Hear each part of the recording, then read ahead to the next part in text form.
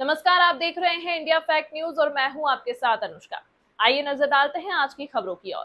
कौन कहता है कि उत्तर नागपुर में काम नहीं होता? आज मस्जिद दारू तकवा यशोधर नगर के इसराइल अंसारी ने साबुद्दीन भाई को एक कॉल किया और उन्होंने आशी नगर जोन के सहायक आयुक्त हरीश राउत को एक कॉल किया और एनएमसी के पूरे कर्मचारी अपनी गाड़ी लेकर कुआँ साफ़ करने के लिए एक घंटे में यहाँ मौजूद हो गए। मस्जिद कमेटी की ओर से हरीश राउत साहब का बहुत बहुत धन्यवाद अदा किया गया। इस अवसर पर समाज सेवक शहाबुद्दीन शेख इसराइल अंसारी, फैयाज अंसारी अज्जू टेलर, एजाज भाई व अन्य नागरिक उपस्थित थे। ये मस्जिद दारू तकवा यशोधरा चौक पर कई दिन से ये कुएँ में गंदगी पड़ी है और इसमें सीवर का पानी भी इसमें आता है और ये जो एनआईटी ने जो काम किया है आने वाले समय में यहाँ पे जो पाइपलाइन भी डली है इन्हें मना करने के बाद भी इन्होंने पाइपलाइन डाला। आने वाले समय में हो सकता है ये कुएँ में उसका भी पानी गंदा आना शुरू हो जाए। और इसलिए आज हमने पहल करके इसको मशीन एनएमसी से कुआ साफ़ करने की मशीन बुलाई। राउत साहब से बात करके उन्होंने तुरंत मशीन भेजा।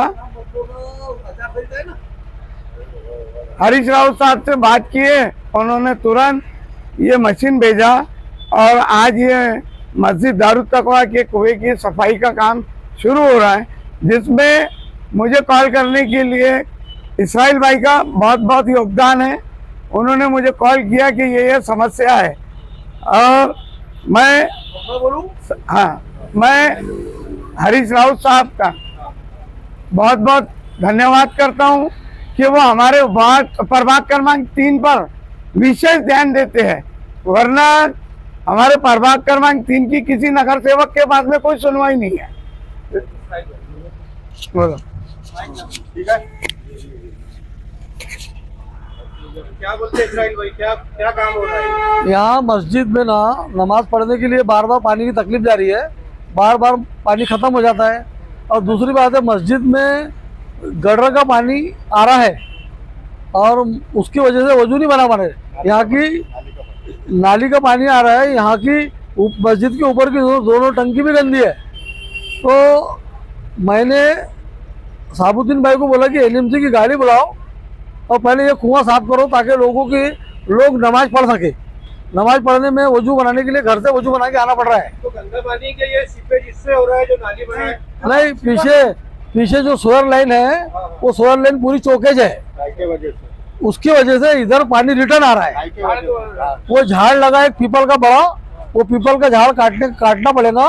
काटने के बाद वो सोलर लाइन का पानी इधर आना बंद होगा। और ये हरीश राव साहब का मैं धन्यवाद करता हूँ कि जिन्होंने हमको इस टाइम पे मशीन दिया कुआँ साफ़ करने को। नहीं नहीं भैया, वो चालू तो करो ये लो। नहीं वो नहीं बोलेंगे।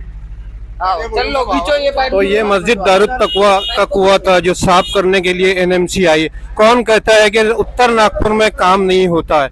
एक कॉल करने पे एनएमसी की इस मेरे सामने जो गाड़ी नज़र आ रही है ये गाड़ी आके मस्जिद के कुएँ की सफ़ाई कर रहे हैं। और ये पानी देखिए गंदा पानी जो है कुएँ का निकल के इस लाइन में जा रहा है। इंडिया फैक्ट न्यूज़ से फराज ख्वाजा। फ़िलहाल अभी के लिए इतना ही। आपको आज की यह खबर कैसी लगी कमेंट में ज़रूर बताएँ। और यदि आप हमारे चैनल पर विज्ञापन देना चाहते हैं तो नीचे दिए गए ईमेल आईडी या कांटेक्ट नंबर पर संपर्क कर सकते हैं। और इंडिया फैक्ट न्यूज़ से जुड़ने के लिए हमारे पेज को लाइक और सब्सक्राइब करना ना भूलें। अगली खबर तक के लिए फ़िलहाल मुझे दीजिए इजाज़त। धन्यवाद। हमारे चैनल को सब्सक्राइब करें और बेल आइकन दबाना ना भूलें।